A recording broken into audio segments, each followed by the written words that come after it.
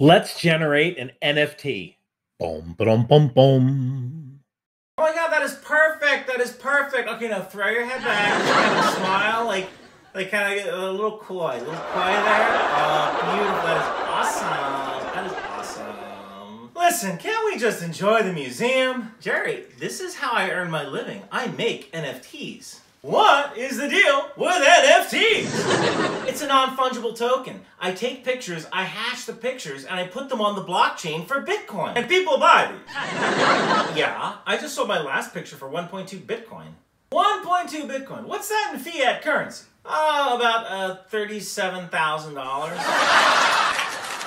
Do you like milkshakes? So an NFT is a non-fungible token, and here's what that means. A Bitcoin is a Bitcoin. I can use Bitcoin to buy a car or I can use Bitcoin to buy a pizza, but every Bitcoin has the same value. An NFT is non-fungible. That means one NFT might be worth more than another NFT. So NFTs are not interchangeable. They are not fungible. Now, before I get started, this video is the second video in a three part series on blockchain, NFT, and proof of work algorithms. So, if you haven't watched my first video on blockchain, this NFT video builds on that first video.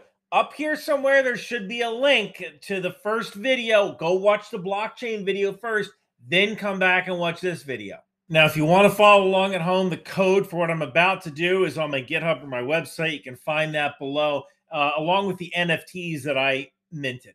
Like, subscribe, leave a comment down below, and if you want, feel free to connect with me on LinkedIn or Twitter. So I created six 64 by 64 pixel images of characters that I play in my videos. Circleback Jack, Posh Ryan, Rayanne, Regular Ryan, Seymour, and Team Lead Ryan. Now, when I say an NFT is non fungible, that basically means that an NFT of Rayanne might be worth more than an NFT of Circleback Jack. So let me just review blockchain really quick. We start with a simplified block. This simplified block has a previous hash, and that hash goes to the block before it. It has a nonce or number only used once. We're not going to worry about the nonce in this example. I'm just letting you know it's there. It'll be used in the third video. And we have data, the information inside the block. Then we take this whole block and we hash it. That becomes the block hash. And we string all these blocks together in a chain with the next block relying on a seed of the previous block's block hash. NFT blocks work the same way, but with one extra step. So the data comes in, we have the previous hash, we have the data, and we have the nonce. But this data is actually a JSON file with a bunch of transaction information and the actual bits of the file that we want to mint. We take that JSON file and hash it. The resulting hash gets put into the data field. And then this information gets put into the block. Okay, so let's see this in action. Now, we already created our blockchain software in the last video, so we're just going to right click on this. We're going to so go to add and we're going to go to new item and we're just going to call the item uh, class of NFT. This is going to hold our NFT. Now, when we finish minting the NFT, that NFT is going to go into our block as the string data. So the NFT class is just going to hold the JSON information until we process it. So let's go back to the NFT class and we'll drop in a couple of things here. We're going to drop in transaction string and we're going to drop in a property that's just going to return the transaction string. All right, then all we need is a constructor that's going to create our NFT. So we're going to take the JSON that we got. Uh, it's going to be a from, an action, buy or sell or whatever uh, who it's going to, and the bytes of the actual NFT image. We're going to take this information, we're going to throw it into a transaction string. I know we wouldn't normally do this, but we're going to use strings so that way you can see what's going on. And we're done. That's actually it. So now let's save this and we're going to work on the actual engine for minting the NFT. Okay, so in keeping the naming scheme consistent, I'm going to create a new class called uh, NFT High Level. And I'll drop that in here and hit add. All right, now this is the class that's going to mint the NFT. Okay, so we're just going to create a method called mint NFT that's going to take a string, uh, some sort of action, the to, and the file name, which will be whatever JSON is passed in. We're going to take the file, we're going to read it into a byte array. Uh, if you do this in real life, you should definitely use a try catch, make sure the file is there, but we're just doing this for speed here. Once we get that byte array, we're going to hash it using SHA1. And uh, just let me add that in as a using statement so that way Visual Studio stops yelling at me. We're going to create the NFT and then we're just going to return the NFT's transaction string. And that minted transaction string is what we're going to send to the block. Okay, now that we got everything set up, let's go back to the program that we wrote in uh, part one and let's delete this. We're going to keep this down here because we're going to see a readout of the NFT. Let's create a new instance of uh, blockchain high level uh, Visual Studio stop yelling at us. Now I want to import the actual NFTs. So I uh, I have a library that I created and it's up on GitHub. I'm just going to copy this and I'm going to go all the way back to my blockchain video demo and drop into this folder here. Paste. Windows 11 takes a little getting used to. Now that it's in there, up oh, there it is, images, and the NFTs are right here. Here's something that you need to do because you're going to pull your hair out if you don't do this. You need to select copy always or copy if newer. Uh, this is going to make sure that your uh, images actually get deployed to your bin. If you don't do this, uh, I guarantee you that you will pull your hair out wondering why you can't find your images when the program runs. So make sure all these images say copy always. And that should give us the images inside the bin directory of uh, bin debug.net 6.0. In fact, you know what? Uh, let's go there and make sure. So if I open up uh, bin debug.net 6.0 there there's all my images. So by performing that action in visual studio this is going to make sure all your images go over to the bin directory. Now let's simulate us receiving some json here. Now let's pass all of the uh, information in from the command line. So we're going to pass uh, from to uh, the action the file name all in the command line. We'll get it from the command line arguments. And then we actually have to put it inside the uh, NFT and then send that to a block. So we already created the first block when we instantiated the blockchain high level.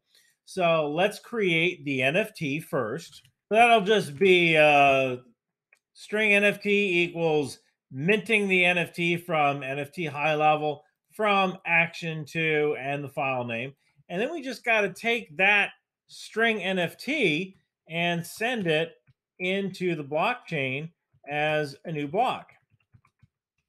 Okay, let's run this. But first, I want to show you how to actually add parameters when you run your project. So you can do this automatically. Just right click on the uh, on the project, go to properties, uh, then go down to debug. And in previous versions of Visual Studio, this will say something different, but I'm using 2022. Uh, so click on open debug launch profile and here under command line arguments, just paste in your command line arguments. So I'm putting these in as if I'm typing them. Ryan sells Seymour this image of circleback jack.bmp. Uh, once I got that in there, then all I just have to do is close it. Okay, now when we run this, those command line arguments will automatically be sent. Uh, so let's put a breakpoint here and we'll run this and we'll see what happens. All right, so as we step through, you can see that uh, the from is Ryan, the sells is the action, the to is the Seymour, and the file name is images circle back jack.bmp. Now we're actually taking this information and we're going to mint the NFT. So let's step into that. We grab our byte array, we grab our hash, we create the NFT, and that's going to give us a transaction string which, you know, you might not be able to see that. So let me just drop this in here. All right, so you can see the transaction string is Ryan sells Seymour, and then there is the hash of the NFT.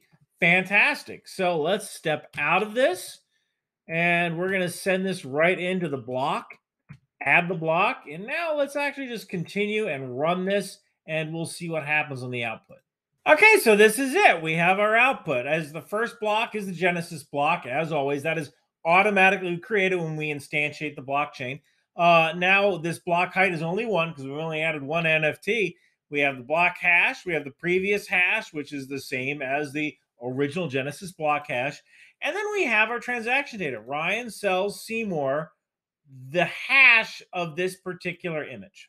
And if you want, you can keep adding more and more NFTs. So as you can see, an NFT is really nothing more than a hash that proves that you own a certain set of bits. Now, I'm sure you see this has applications way outside of NFTs.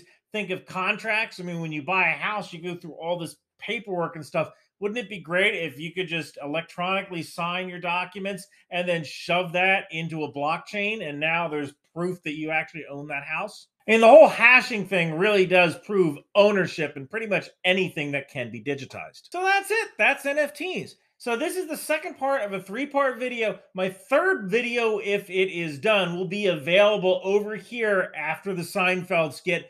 That video is going to be about proof of work and how you actually get paid for mining cryptocurrency. Now let's see what Jerry and Picture Girl are up to. Do do do do do do do.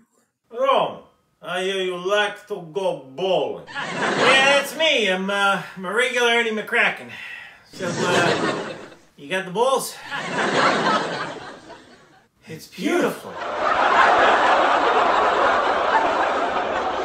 pay now. Well, actually, since we're conducting a transaction of a more exotic nature, perhaps you'd accept Bitcoin as payment. I cannot do. Only take fiat currency. Actually, I think it's pronounced fiat currency.